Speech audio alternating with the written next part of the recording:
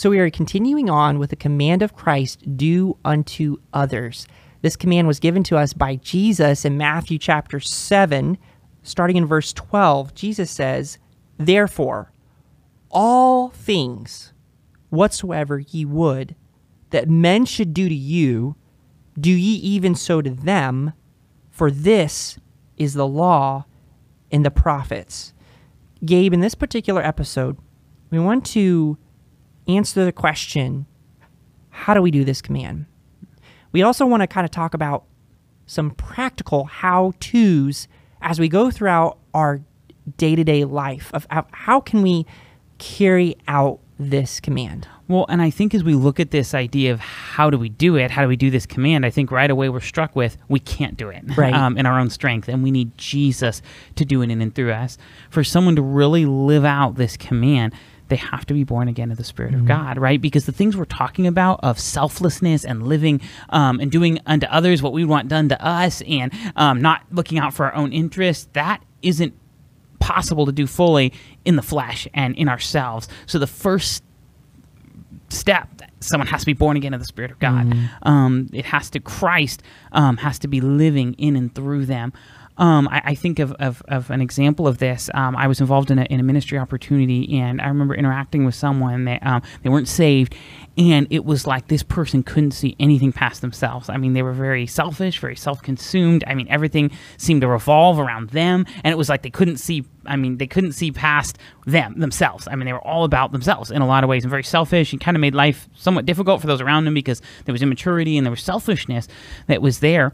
But um, this person um, ended up giving their life to Christ. And it was amazing the transformation. Mm. I don't know that I've seen a transformation quite like it before, where it was so instantaneous as this person became a new creature in Christ that it was almost like a new set of eyes had opened. And all of a sudden, they became aware of people around them. Mm-hmm. And it was like the way I would put it, if I could put it in words, would be they started almost instantaneously when Christ moved in to beginning to start to treat others the way they would want to be treated. Wow. They became aware of their surround the, uh, people around them, and it was like all of a sudden, as a result of the Spirit of God living in them, they began. It was a journey. They still had more growing to do, but it was like they became aware of the needs of those around them, and they began to, uh, or aware of rather the people around them, and um, they began to do more unto others what they would want done to them.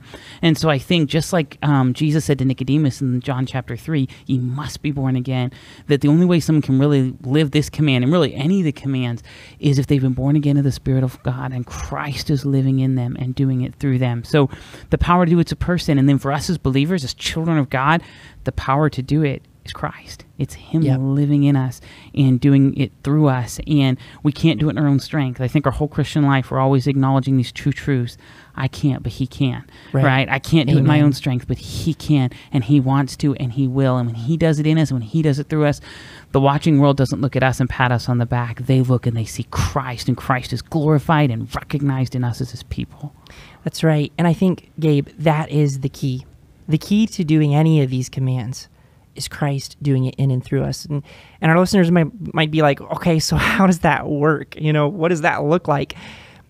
You know, in a simple, very simple way, it's just simply saying yes to God.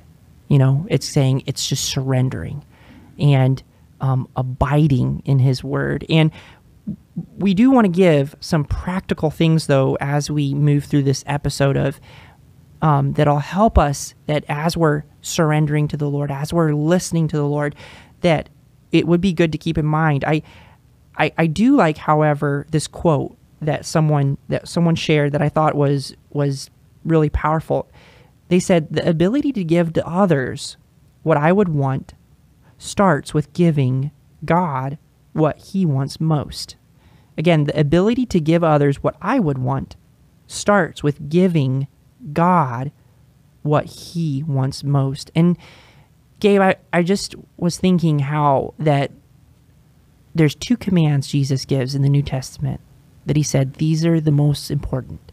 He said to love the Lord your God with all your heart, soul, mind, strength, and to love your neighbor as yourself. And he said on these two commands hangs all the law and the prophets, which is very similar to this command where Jesus says that you know, this is the law and the prophets. And I think what's significant with that is it's almost like when we get the first command to love the Lord our God, if it, when we make that our focus, when we make that our number one goal, it's it's it's like loving our neighbor just comes as a natural fruit of loving God.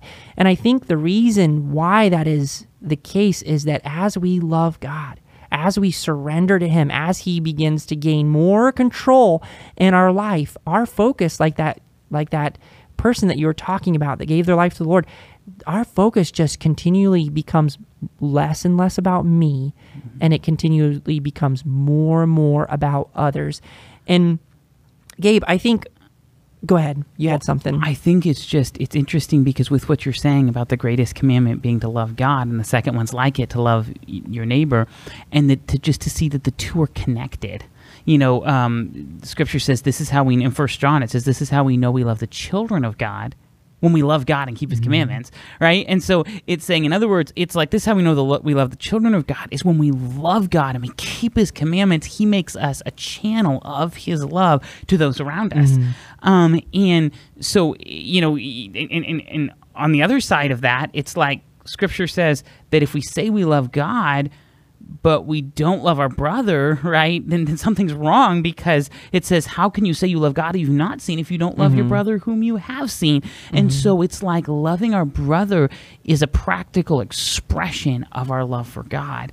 And so as we love God with our whole heart and we pursue that intimacy with Him, He then makes us a channel of His wonderful love that begins to reach others and to touch other people. And this is really the only way that this command to do unto others is fulfilled in our life. It is. So, what would it look like to do unto others? Or, as Jesus put it, therefore, all things whatsoever ye would that men should do to you, do ye even so to them, for this is the law and the prophets. What would that look like on a, on a daily basis? And one of the first things I think of, Gabe, is, and again, we've mentioned this in, in our previous episodes, but the thought of what is it that I desire in my own life? How how what are the things that I want to happen? What are what are my needs? What needs do I feel that need to be met in my life? And then using that kind of like a script and flipping it around and saying, "Okay, these are tools or these are examples or these are some ideas of how I can begin ministering in the lives of others. I'll run over a few of them with you here, but just keeping that in mind of, of using using that tool to to do unto others as we would have them do to us. One of the top things, Gabe, that comes to mind is I want to be loved. And not just an ooey gooey sentimental, you know, oh, let me do whatever I r- want to do. No, I, I need a love that has parameters. I need to have a love that has standards. I need a love that I need someone to genuinely care for me and to to know what's best for me and to be involved in my life in that way. And I think that's one of the first places we can start with this command do unto others is loving people in a Christ-like, God-honoring way. Not necessarily giving one, giving them what they want. You know, sometimes the the greatest thing way that you can love someone is telling them the truth, but telling them the truth in love. But it's it's it's loving them as Christ has loved us. Another thing I, I think of is we all need to be provided for in some way, shape, or form. 1 John 3:17 says this, But whoso hath this world's good, and seeth his brother have need, and shutteth up his bowels of compassion from him, how dwelleth the love of God in him? You know, it just seems like more and more the needs of people are increasing every day. And that the awareness of those needs. Well i know i'm aware of the needs in my own life. How can i meet those needs in other people's lives? And i think it's really amazing gabe that it's almost like as we focus on meeting as we we don't focus so much on our own needs although i think those do need to be met but as we make the needs of others more of, of, of an important focus it's like god begins to meet the, my own needs which is a really incredible thing what are some other things we want to be protected we want to be told the truth um, and and we wanted we want to be supported emotionally. And I think with that, you know, I, I, think what you said was so true. Is that when I'm pursuing to um, to encourage others and to see their needs and minister into their life, God ministers to the needs in my own heart and life, Yes, and He meets yeah. those needs. So it's not that my needs don't need to get met or they don't get met, and it's not that I need to that I ignore those Or, things. or that you neglect them. Right. It's not that I neglect those needs in my own life, but that it's as I pursue to meet the needs of others that oftentimes Mm-hmm. God meets those needs in my life too. I also think it's it's significant. You know, you mentioned this idea of, of being provided for, and just that verse from First John where it says, "But whoso hath this world's good and seeth his brother have need and shutteth up his bowels in compassion from him, how dwelt the love of God in him?" And I think of this situation that happened where I was I was traveling around Thanksgiving time and we had stopped at a gas station and um, someone came up to us. Um, that this woman and she was um, from Romania and her and her husband and her son were there kind of parked in the Love's gas station in, a, in an RV and um, they were trying to travel from one part of the country to another and maybe pursuing a job and, and she had a gas can and she needed it filled with gas because they were running their um, their generator in their in their motorhome to keep you know probably the heat going and things that way. And so she asked if I would fill it with gas and, and you know it's like okay you know if the price of gas here in the US has gone very high you know and it's like a five gallon probably thing and you're doing but it was like and I didn't even I didn't even think all this when this was happening because it all just happened so quickly but it's like you know what? If I had been in her shoes boy would I wanted someone to fill my gas tank. I you know, sure would've was wanted that cold, too. and you know, I would have wanted that. And I thought, and so and so I did. I, I pull, I, you know, I took the pump and I stick it over, and as we were filling the gas, just kind of talked to her a little about their family and their situation. And my wife reached out and handed me, a, I think it was a Gospel of John. And so when I finished filling the gas there, I gave it to, you know, we gave it to her, and I said, here, here's, and I gave her that Gospel of John, and she took that, and I saw her go back, and I saw her go and then putting their gas right into the RV with her her husband and son that were there. But you know, because people really have have kind of needs on two levels. They have physical needs, right? Like she needed gas, and sometimes people need food and other things. But then actually, her the greater need that people have is spiritually. Yep. And so, but here's what I think is part of how it works is sometimes when we can meet a physical need, it opens a door to meet the greater need, which is the spiritual need. And I think this is where that doing to others comes in so much is because when we can reach into someone's life and meet a physical need, it's like then a door is open for then us to meet their real need, which is spiritual, us to share the word and share the Lord and share the gospel with them. Um, or in this case, I gave her the book of John. And so physical needs sometimes open the door for spiritual needs. I, I think of other needs people have. You mentioned the need for for people to be supported emotionally. You know, it's amazing what the scripture says. It says, "Rejoice with them that rejoice that do rejoice, and weep with them that weep." You know, it's not kind of just this surface level. Oh, I get you. You know that kind of um, thing. It's like this very real, like where you're you care for them so much that you're weeping with them and you're rejoicing with them, and it's like communicating God's love and care for them. That's powerful. I also think of um, Um, of the desire for, for people to pray for us. You know, I, to me, I think in, in my life, what I would say is one of the greatest things that someone can do for me is pray for me. And so it's like, how much more than if I want people to be praying for me? And we mentioned this in an earlier episode. Should I be praying for them? I think of, I believe it was Samuel in 1 Samuel 12 23 said, Moreover, as for me, God forbid that I should sin against the Lord in ceasing to pray for you and the verse goes on but i think wow that he said he wouldn't sin by ceasing to pray for them. And so same way in our lives let's not cease from praying for those um, that god has brought across our path and those in need and really asking and seeking and knocking on their behalf.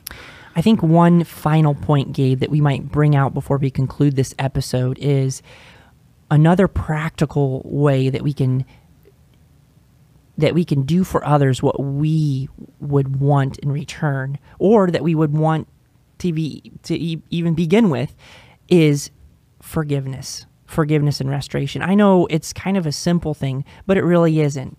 Um, it's you know i think of, of what, what one person said that the the five most difficult words in the the the human language is you know i was wrong will you forgive me? Actually the seven 7 most difficult words. And you know we think that might be something small but it's not because if you are able to forgive it takes care of anger many times and it takes care of bitterness which can control and actually can poison and many times destroy a life. And so ephesians 4.32 says this and be kind one to another tender hearted forgiving one another even as god for christ's sake hath forgiven you so for our listeners i think a wonderful way to end this episode is just like it talks about in Ephesians 4:32, even as God for Christ's sake hath forgiven you. We've been forgiven so much. God has done so much for us.